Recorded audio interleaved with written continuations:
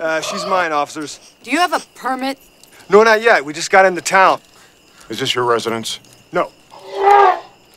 Uh, but my wife's upstairs. Uh, they got her strung up in there. What? She's all right and everything. She just tried to stab me. No. Excuse me?